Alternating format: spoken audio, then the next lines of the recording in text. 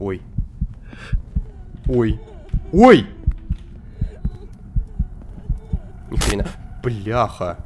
Бляха! Ля, это очень круто. Чпоник. И теперь эта штука открылась, мы заходим. Ага. Все окей. Иногда лучше А ты не думал, знать, реально что выбор? происходит на самом деле. А ты расскажи. Ну, тогда давай прогуляемся. Ну ты уже давай. знаешь завязку. Кто-то придет, кто-то попытается тебя убить. Вопрос в том, кто именно. Сталкер.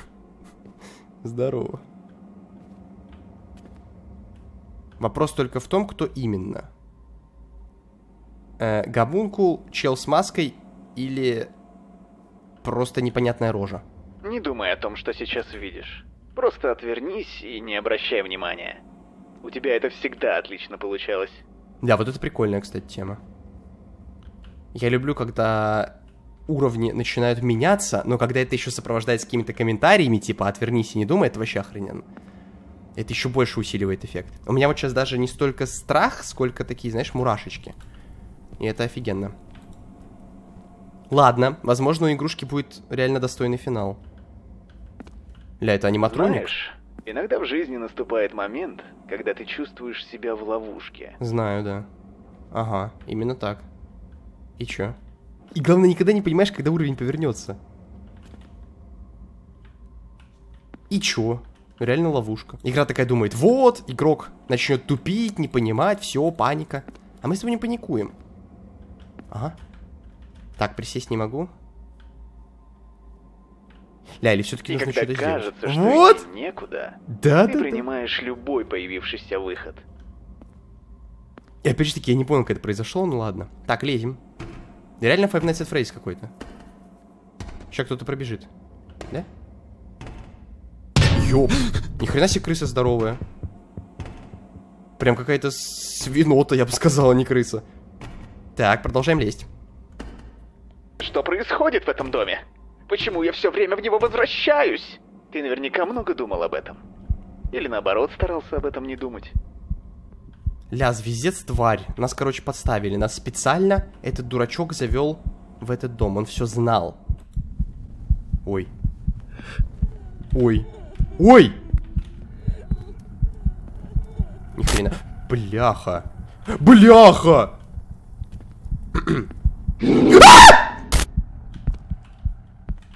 Что происходит? Чего вы все сразу-то навалились? Спокойно. С ними ты уже разобрался.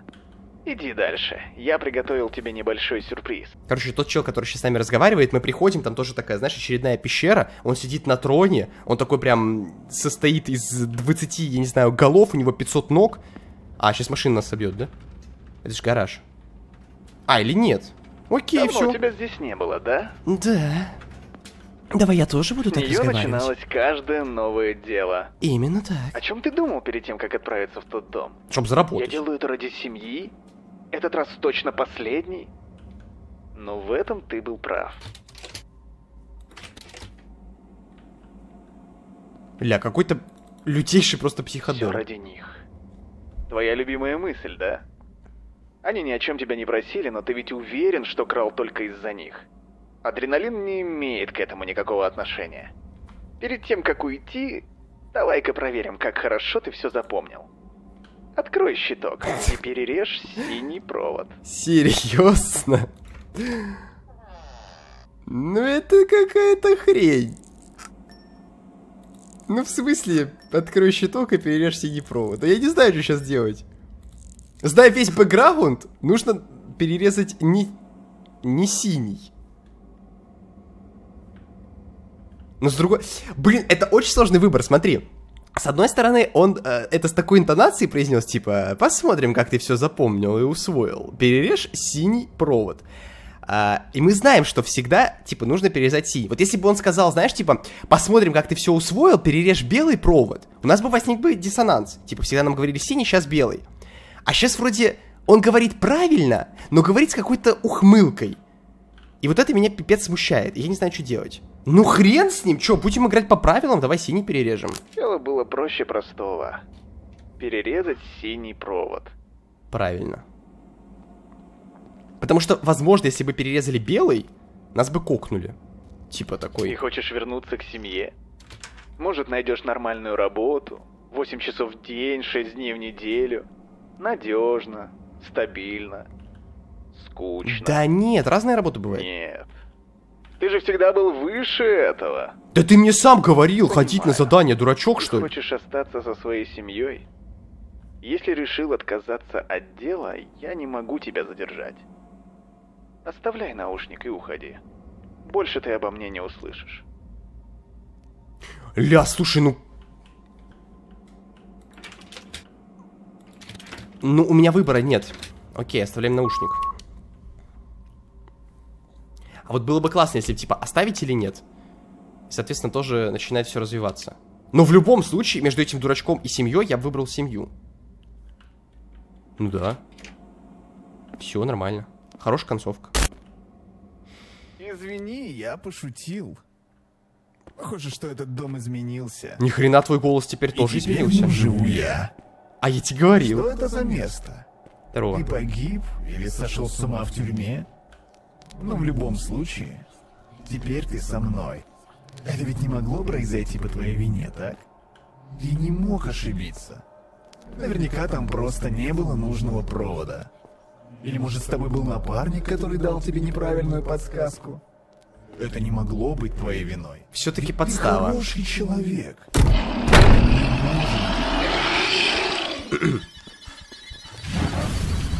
Бляха. Капец вы затолпали ТПшиться, слендермены хреновые. А что, нам сюда, не сюда? Наверное, сюда. Ой. Бляха.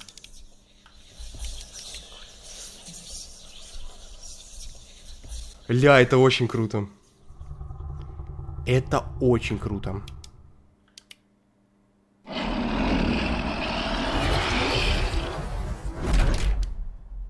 Ага, и какой-то чел нас просто выкинул нахрен отсюда.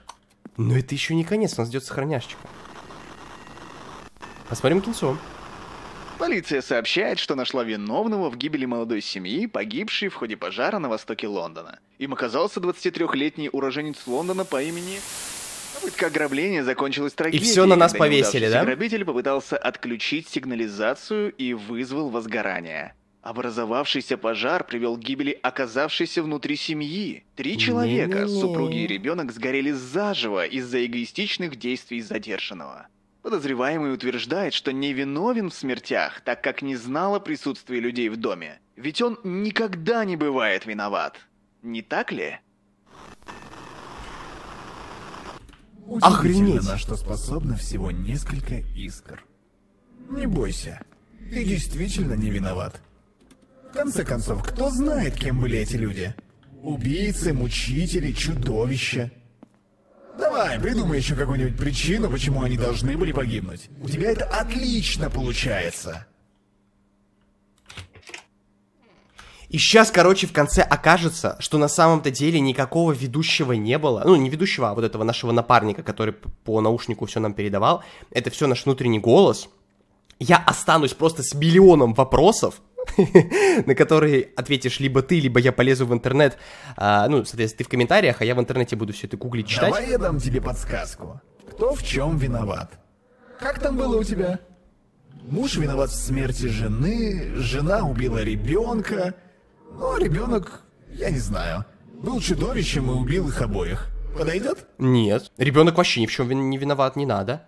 Так, я хочу взглянуть на того, кто меня убил. Ля, еще делать. Это, это уже выбор или я должен просто... Что я должен делать? Ну, это, короче, муж, у него самый большой череп. Это жена, это ребенок. Какая странная логика. Ну ладно. Опять же, исходя из сюжета, мы с тобой выяснили, что как бы муж был абьюзером, да, он бил жену. Но это точно не повод убивать ребенка. Ребенок-то при чем? Ну, типа, убей мужа, если он такой тиран, тебе прям уже задолбал. Типа, жить ты с ним не можешь, в страхе там и все такое, полиция не помогает. Ребенок-то вообще при чем? Соответственно, ну, в любом случае, мне кажется, здесь виновата жена.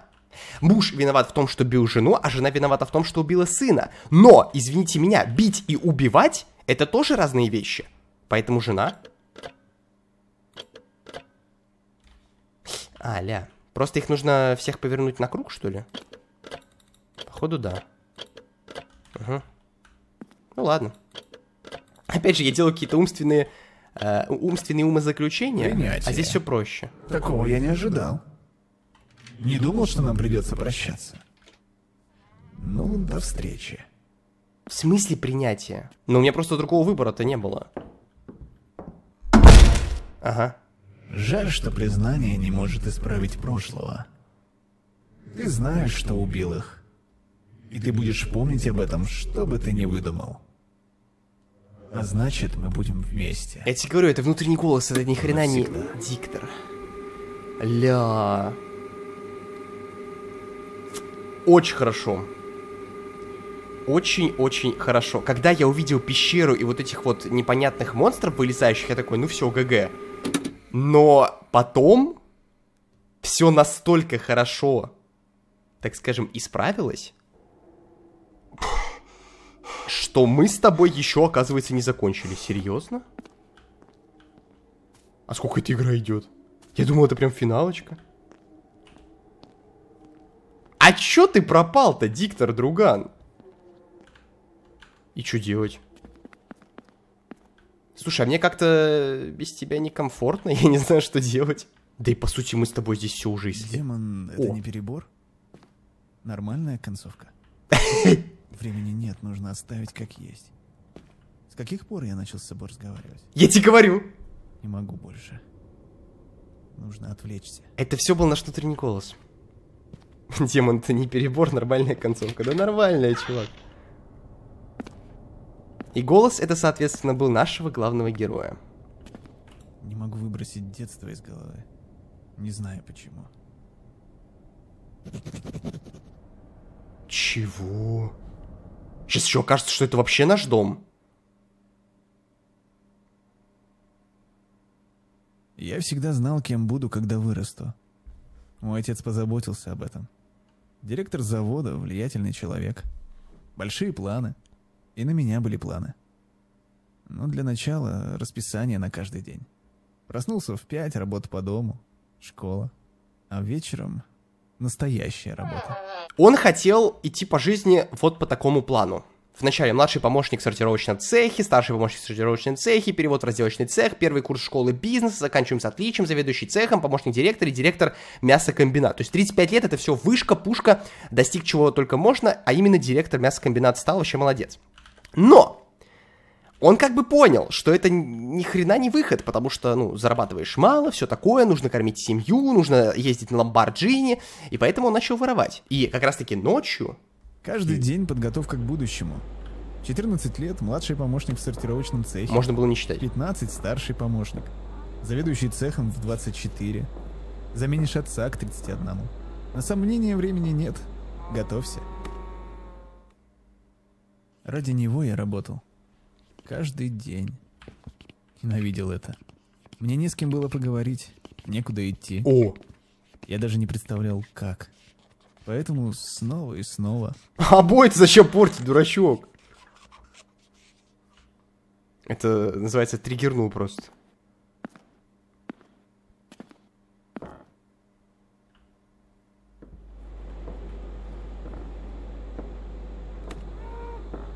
Ля, ну пока Но что я все нашел выход. очень хорошо. И какой выход ты нашел? А, ну типа грабить, да? Точнее, воровать, это разное. Вор это тот, который типа втихую что-то тырит, а грабеж это когда там руки вверх, я этот грабитель и все такое. Типа, знаешь, с э, большим эпиком. Ну и то, и то мы, естественно, обсуждаем. Осуждаем.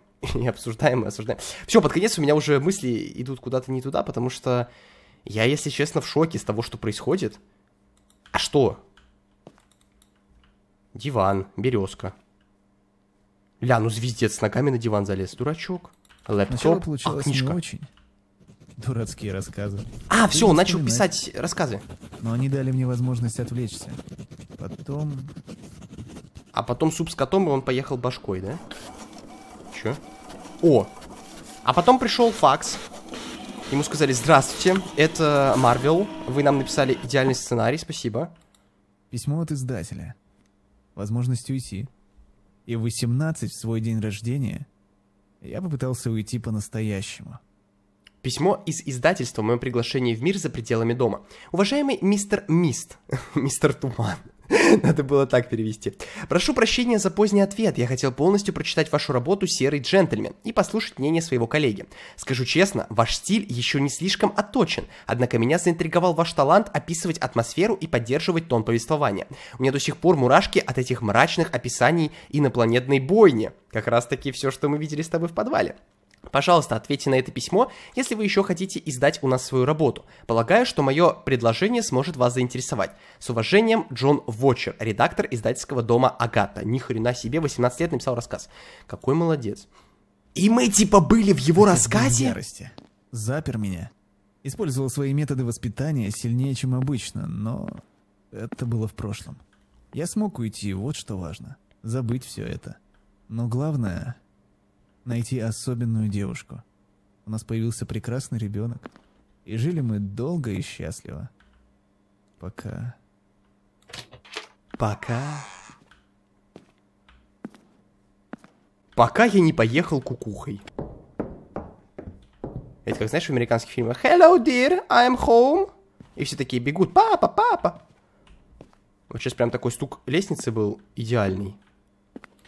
Ага. О, чемодан, кстати. Знакомый. Листочек. Письмо от врача. Только после этого письма мы осознали, насколько все серьезно. Больница Роин Лондон, соответственно, адрес 2 июня 18 год. Уважаемые мистер и миссис Мист, как Смит, только Мист, с сожалением сообщаю, что состояние Оливера ухудшается. А, Рио Циугат позволил облегчить его самочувствие и улучшить качество жизни, но он не способен устранить причины его проблем сердца. Я настоятельно рекомендую вам как можно скорее дать свое согласие на более радикальные методы лечения. Мы запланировали курс приема медикаментов, который имеет шанс привести работу сердца в норму. Я сомневаюсь в необходимости операции, но хочу предупредить вас о том, что она может появиться в будущем. Предлагаю обсудить лечение вашего сына при следующем посещении. С уважением, доктор Мэтью Пирс. Ага. Так, Мы старались как могли. Пустую. Счета за лечение только росли. Я начал получать отказы, так что деньги заканчивались. Устроился на вторую работу, потом еще на одну. Не хватало. Ну и вот поэтому он шанс. начал воровать. Да, шанс был. Зарисовка для второй главы. Никаких лишних звуков или описаний. Все внимание должно быть сосредоточено на каждом новом факте. Каждый шаг по лестнице отдавался протяжным скрипом. Люк в потолке вывел его на чердак, темный, лишенный всех следов звука и света. Единственное, что на мгновение могло разрушить тишину – щелчки старого фотоаппарата. Единственное, что помогло ему увидеть – секундный свет вспышки.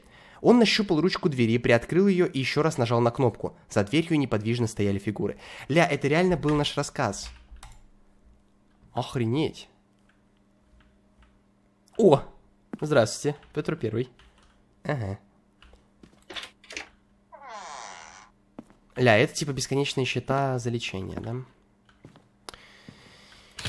Капец. Ух. Ля, прикинь, это же разработчик, наверное. Если он это все вручную вставлял, я просто охренею. Возможно, есть какая-то команда. Ля, ну и сейчас звонок из больницы, что все звездец, да? С ним все в порядке? Врач говорит, что он стабилен. Ой, хорошо. Хорошо. Хорошо. Слава богу. Ты уже успела вздремнуть? Еще нет. Операция только закончилась. Ты как? Писал. Часть с маньяком готова. Я успею. Может, возьмем еще один кредит? Мы и так в долгах. Больше нам не дадут. Мне нужно только дописать и... Ты можешь позвонить отцу. Надин, ты же знаешь, нам нельзя. Я уже говорил с ним, у него были планы на меня. А теперь у него планы и на Оливера. Он... Он его сломает. Он настоящий монстр. А что за Эйден, планы? да мне все равно, кто он. Да пусть у него хоть рога будут. Мы о сыне говорим. Послушай, если он даст нам деньги, то уйти мы не сможем. Никогда. Нет, я... Я продам книгу, и мы все уладим. Эйден, твоя последняя книга до сих пор лежит в столе, вместе с предпоследней. Откуда ты знаешь, что купят эту? В этой я уверен. Я тебе обещаю, это моя лучшая работа. Нужно лишь дописать ее, и все будет в порядке. Веришь? Один месяц, Эйден. Потом мы звоним твоему отцу. Я справлюсь. Обещаю. Просто скажи, что ты мне веришь, и я все сделаю. Один месяц.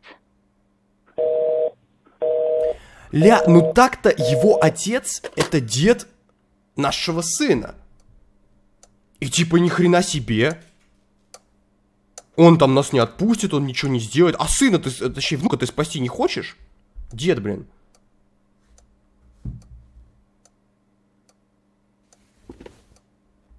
Эйден, ты в порядке? Нам нужно поговорить. Нет-нет-нет-нет-нет. Мне осталось только все проверить. Еще чуть-чуть. А, ну и вот здесь он, скорее всего, поехал головой. Неделя. Прошло уже больше месяца. И я знаю, что ты работаешь. Просто хотела сказать, что Оливер стабилен, доктор ждет и... 3D-звуки. Даже если я попытаюсь его говорить, она не поверит. Либо я заканчиваю книгу, либо... Сколько времени ты уже не выходил? Эйден, я не могу переживать за вас обоих одновременно. Мы должны решить это и решить сейчас. Твой отец поможет, и все не так уж плохо. Ты сможешь вернуться к книгам позже, если захочешь. Как к черту книги. Если он получит контроль, с Оливером будет то же, что и со мной. Она не понимает. Что бы ни случилось, мы пробьемся. И я уверена, что с твоим отцом все не так плохо. Мы договоримся. Или сообразим что-нибудь. Оливер спрашивал, где ты. Я сказала, что ты работаешь, но скоро придешь. Он скучает. Я тоже. Открой дверь, Эйден. Ты обещал. Так, Эйден, здесь... Пожалуйста, Здесь у нас выбор открыть дверь, либо продолжить писать. Эйден. Да сейчас, подожди, подумать надо. Короче, Я просто хочу поговорить. ну тогда надо открыть, это ж наша Ты жена. обещал. Я обещал. Это ж какой-то там демон стоит. Жена. Все нормально. Мне понравилась та глава с призраком. Ты никогда не говорила своей матери. Это с ней не связано? Только не это. Я не хочу об этом говорить. Я подожду здесь еще немного. А потом... Что потом? Короче, сложно. С одной стороны... Нет, да с любой стороны, по сути, нужно открыть дверь, потому что она хочет с нами поговорить, она хочет нас увидеть. Что за хрень? Мы закрылись в комнате, непонятно, что происходит. Она тем более вот по этим штукам вообще не поймет, там, готова наша глава, не готова. Вообще пофиг, открываем. Я оставлю все это. Смогу вернуться, работать у отца. Мы что-нибудь придумаем вместе.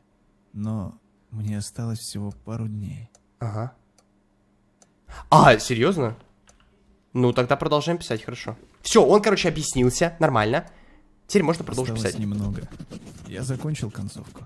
Нужно только отполировать и... Оливер Я- будет здоров с нами. Надин не поймет, нам придется расстаться, но... Оно же того стоит. Почему придется расстаться? Подожди, мы до сих пор можем открыть дверь? Нет. Это не важно. Привет, Надин. Получено достижение цена ошибки. В смысле?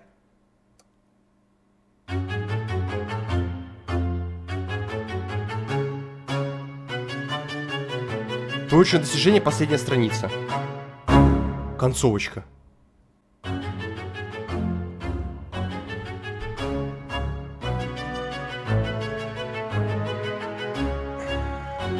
Юрий Лукин Плей Лукин, ни хрена себе. Прикинь, вот меня позвали бы озвучить игру, я бы такой, раз, раз. А чё, позвали? Новеллу, кстати, мы с тобой недавно проходили, как раз таки с моим участием. Нормально. Короче, я что-то нифига не понял концовку, потому что мы такие рассуждали, что нам делать, продолжить писать или открыть Надин. Но Надин хотела просто поговорить. Типа, какой бы ты творческий человек не был, ты не можешь э, просто взять своей вот этой коморке закрыться, вот так вот зашориться от всех людей и начать, э, типа, что-то делать. Ты должен выходить, ты должен общаться с людьми, ты должен гулять, свежий воздух, э, в конце концов, вдыхать. Рифма, рэп. Вот, я как творческая личность, как-никак, тоже тебе скажу, что порой действительно хочется вот просто от всех абстрагироваться, э, сесть и начать типа заниматься своим любимым делом, там, начать снимать видосы просто с утра до вечера и с ночи до утра. Но это неправильно. Потому что опять же таки, общение с людьми, а, какие-то да, дефолтные прогулки. Ты не можешь просто сидеть, жопой прилипнуть к стулу и фигачить э, там 24 на 7. Именно поэтому я как бы выбрал, соответственно, открыть дверь и поговорить с женой. Потому что вначале мы с тобой нажали на эту дверь, он такой, ну, что-то там типа ей сказал, но все равно при этом мы сели писать. И потом, когда был еще один выбор, типа продолжить писать эту главу или с ней поговорить, я такой, ну, странно. Типа, смотри, состояние сына улучшается. На крайний случай, если ты реально не допишешь, можно обратиться к отцу, который является дедом. Это типа не человек с улицы. Поэтому, ну, мне кажется, мы сделали все правильно. Мы типа открыли дверь, чтобы поговорить с женой. Потому что, ну, судя по ее голосу, он был довольно-таки встревоженный. Соответственно, очень долго мы с ней уже не говорили. Мы закрылись, у нас там была э, одна кровать в нашей этой комнате стояла. Почему мы с ней не спим, тоже непонятно. В конце он сказал, что вот мы типа в любом случае расстанемся. Тоже ни хрена не объяснили почему. Потому что он такой весь творческий, ему ну, лучше жить одному, ну, типа, тоже как-то очень неоднозначно и странно. Тем не менее, вот несмотря на вот этот выбор между продолжить писать роман или же э, выйти к жене, концовочка, пос... короче, вот этот вот момент э, между конкретной концовкой и адом, в котором мы с тобой бегали от э, монстров различных, просто охренительный момент.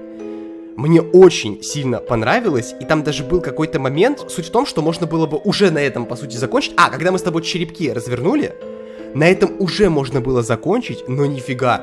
Автор пошел дальше, он нам объяснил, что на самом-то деле это все был рассказ, который мы писали. И то есть я уже хочу вроде как начать придумывать какие-то теории, связанные с тем, что типа как мы могли сжечь этот дом, если мы по нему сами ходили, и то, что этот чел нас подставил, потом я понимаю, что это внутренний голос. А тут бац, и снова все переворачивается, и оказывается, что на самом деле это в принципе рассказ, и этого ничего не было. И наша реальная жизнь такова, что у нас есть жена, у нас есть сын, который попал в больницу из-за болезни, мы пытаемся всеми силами, э, соответственно, заработать денег. Короче, блин, а может он реально воровал? По итогу. Если он такой, знаешь, типа весь писал рассказ. Ля, а вот давай посмотрим, э, может быть, сразу мы сможем еще одну концовку глянуть. Я сейчас нажму далее. Короче, сейчас мы вообще не обращаем никакое внимание на реплики жены и просто продолжаем в тупую писать рассказ. Это неправильно, я сразу говорю. Ну, с моей точки зрения. Но, как бы, вот пытаемся. Хорошо, что была сохраняшечка. Я закончил концовку. Угу. Нужно только отполировать, и Оливер будет здоров с нами. Надин не поймет, нам придется расстаться, но оно же того стоит. То есть, видишь, судя из этой реплики, мы сейчас принимаем решение расстаться с Надин, спасти ребенка. Нет, нет, нет, нет, нет. Мне осталось только все проверить. Но это вообще нелогично. Прости.